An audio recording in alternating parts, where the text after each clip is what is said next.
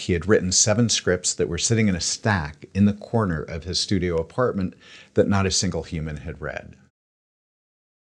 J.F. Lawton had been writing screenplays and trying to break into Hollywood for years. Do you think that would have happened if he hadn't met you? My belief is that J.F. Lawton was so profoundly talented. I see this in a number of people in front of and behind the camera that eventually I have to, I hope and believe that he would have made it. But one of the things I would say is at the time, I was more manager than producer when I met him, lit manager. And you're right. He had, uh, you know, he was living in a one room studio apartment in the Rampart district of Hollywood. Back then, a very, let's just say, colorful, if not dangerous, uh, experience on a day to day basis. And he had dropped out of film school.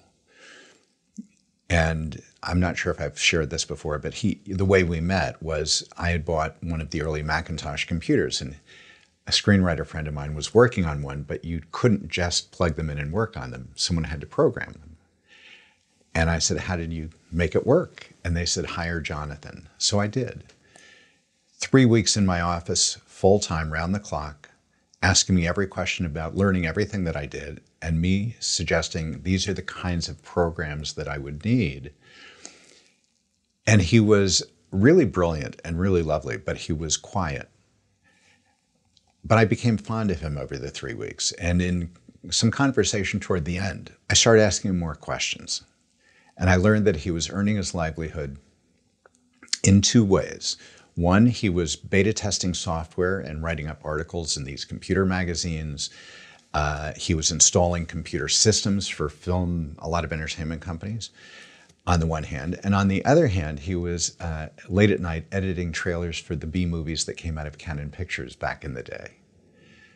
Well, when I learned that, I thought, well, so clearly you have an interest in the entertainment space. And then I found he had gone to film school. He let let me know he had written seven scripts that were sitting in a stack in the corner of his studio apartment that not a single human had read. His father was a, an author, an academician, a real a man of letters. So Jonathan came by it naturally. Um, so to answer your question, um, when we met, I read about several of his scripts, and I said, "You're really you're you're talented. Rather than refer you to an agent, I want to work with you." but these scripts are as good as they are, and as much as they evidence your talent, they're a little bit quirky. Um, and what I would like to uh, have as a means of introducing you in a meaningful way to the community because we all live in a steady diet of hope and expectation that we're going to discover the next great voice, the next great project, the next great artist. Um, that's a critical energy. And so I wanted to be able to frame him in a certain way and have a certain quality of screenplay. And um, so I asked him, I said, I want to work with you, but it's not a condition, but I would really like it if you would create on spec a new screenplay. And I would like that screenplay optimally to be a romance. I don't care if it's a comedy or drama. And the reason I chose that is because when you learn about someone's personal story, it, you can zero in on things. And in his instance, uh, he was 23 at the time, quite young. And he had been in a relationship. Uh, he met a young lady when he was 18 and they'd been in a five year relationship, and he was still madly in love with her as she had just left the relationship. To say that he was sad would be an understatement. And uh, not to be masochistic, but honestly, I thought, who would write a better romance at this particular moment than this young man? So I asked him to give me a romance. And I said, just a classic two hander, good male, good female role no exploding bridges, nothing expensive. Like if I needed to make this very inexpensively independently, we could do that. Um, and that's so he went away and he came back, and it wasn't long. I don't remember. I would say two and a half months with the first draft of what was then called 3000, the script that eventually got transformed into Pretty Woman from drama to comedy. And um, without question, it was the single most refined first draft I think I've ever had held in my hand. Uh, it was really compelling. and I knew as soon as and and I decided it was so good I wasn't there were I gave no notes and I started to introduce it very selectively and the feedback was so um, consistently um, to say enthusiastic would be people were wowed so I knew we had the calling card we had the the welcome mat to introduce him to the to the larger community um, so I think given given his talent he would have gotten there. I think I gave it a nudge, um, and um, and that was my sort of specialty was knowing how to present and introduce someone new to the business. So together, I think we we accelerated the process. What a wonderful story! What year was this?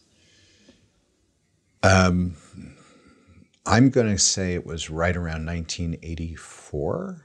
Oh wow! Okay. I believe. Interesting. Wow. So you saw in him this sort of reserved, maybe genius, but just needed some nudging. And you wanted to see several scripts of his, correct, before you actually made a commitment? He reminds me that what I actually said to him was, let me read one of your scripts, and if I like it, I'll help you find an agent, which was a very genuine um, comment on my part. I would, would have been happy to do so. Well, as it turns out, I read one, and then I said, this is really Interesting. Do you have another? And he gave me another. I ended up reading three. Unbeknownst to me, he was being very, I would say, intentional because he was giving me these scripts in the order in which he'd written them. So they kept getting better. And by the third, I said, You know, Jonathan, let's you and I collaborate. I'd like to represent you, I'd like to work with you. And he was delighted. And that was the end of the conversation, other than, you know, what next? Um, so, yeah, we, we, we had an extraordinary uh, rapport. And um, I would say that he, people bandy about the word genius quite casually. I would say he was, he was quite, uh, he, he was what would be my definition of a creative genius. Um, and, the, and then, of course, the next project that he wrote on spec was a result of a lunch that we had together. And the more I dug into finding out who he was and what his life experience was, his family life and all of that, I learned that he had been he had done he'd been in the military. I've never been in the military. So to me that's a very alluring world. It's sort of a fascinating world to me. And Jonathan had um, served in the Coast Guard Reserve and he did that. He was in active service at the time that the Olympics were about to come to Los Angeles, which was many, many years ago. I have no idea what year that was. Uh, probably the very early 80s, I would think. And um, I started to ask him about what was that? Tell me what what did you do? What where did you serve? Uh, were you on a? I called it a boat. It was a ship, right? Uh, and he he just sort of regaled me with these stories of what it was, you know, and they had received counter-terrorist training because of the Olympics, so they had a very intensive program. And the more he talked, the more I leaned in. I was absolutely riveted by it. At which point, at the end of the lunch, I said, Jonathan, I need you. I need you.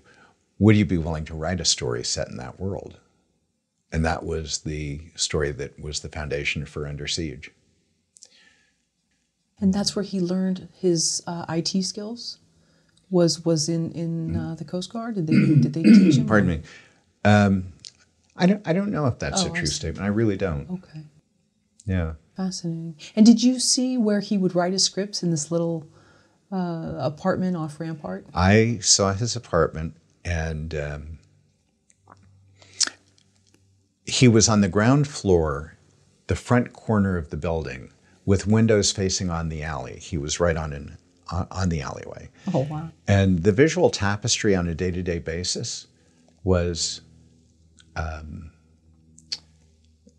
I, I, don't want to characterize it, I don't want to judge it, but it was a constant parade of police and working girls and drug dealers and pimps and homeless, etc.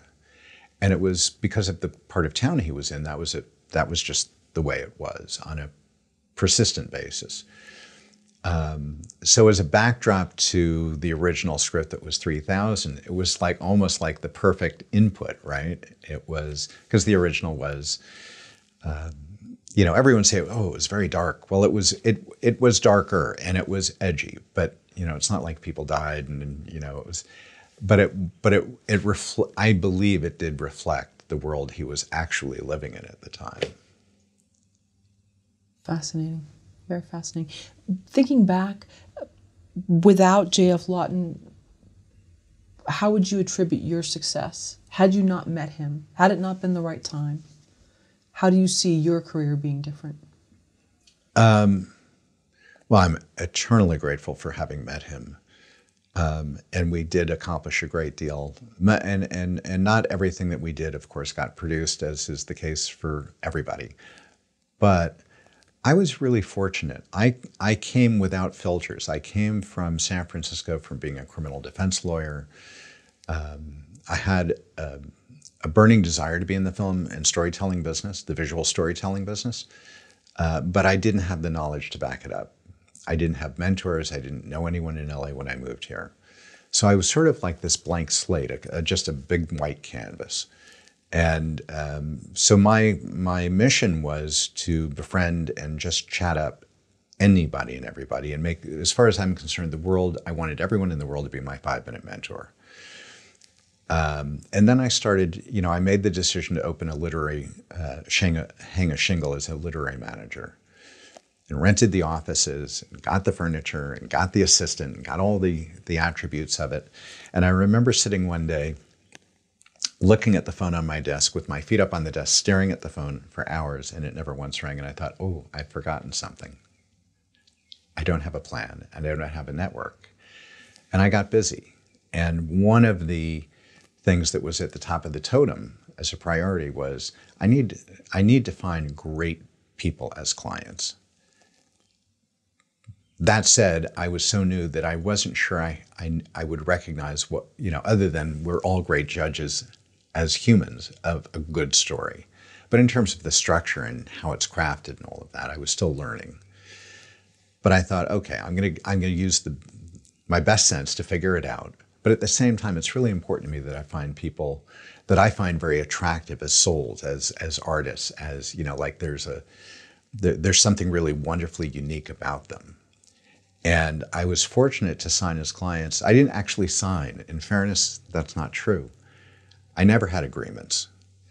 Um, my, you know, my philosophy was very simple. I had to earn my keep every day. I would work hard every day representing someone in, in, in an effort to launch, make their dream a reality. And on their side of the bargain, they had to work every bit as hard, not just writing, but making themselves known as best they could, creating their own relationships, right on a parallel track. Um, and I did sign, I did sign, I keep saying sign, but I didn't. Uh, so it was a handshake. Anytime they were dissatisfied, they were welcome to leave. Uh, but I had a lot of very long, many year enduring relationships. And it turns out that several of them, Jonathan was not the only great success story. There were quite a few. Um, um, you know, Allison Burnett's done, he's written, been produced 15 times. He's produced a few of those. He's directed several of those. You know, Matt Reeves um, and his then writing partner, um, gosh, they had uh, minimal resume. They had some. Um, but Matt's gone on to direct, you know, and produce and write uh, War for the Planet of the Apes. He did the one before that. I forget the name of that franchise or, or that episode. Uh, he's doing the next, the Batman that's coming out next year. Uh, so there's a number of these people that started out with me that were really quite, um, you know, they were wonderful people and they were truly gifted.